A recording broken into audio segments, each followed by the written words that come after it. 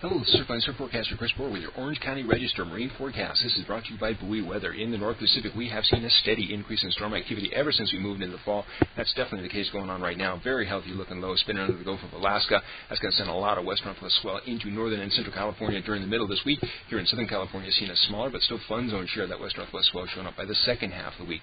Here's what it looks like in the latest analysis. Got that low moving out of the Gulf of Alaska, steadily intensifying through the next 24 36 hours as the center of the storm heads towards the west coast of Canada. But cold front standing from that storm well into California. It doesn't look like we'll see any weather from this system at this point down here in Southern California, but we will see that west northwest swell on the rise by the second half of this week.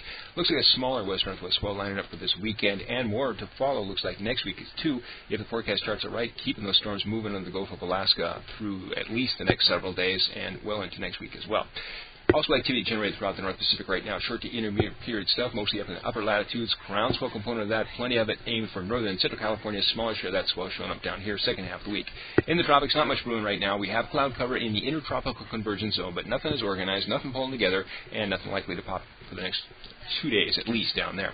South Pacific, very zonal flow in the southern hemisphere lately, and that's why we don't have much southwest swell activity in the water.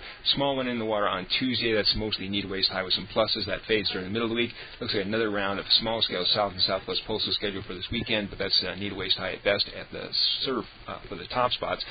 Not much southwest swell activity out in the water through this week due to the zonal flow in the southern hemisphere going on now.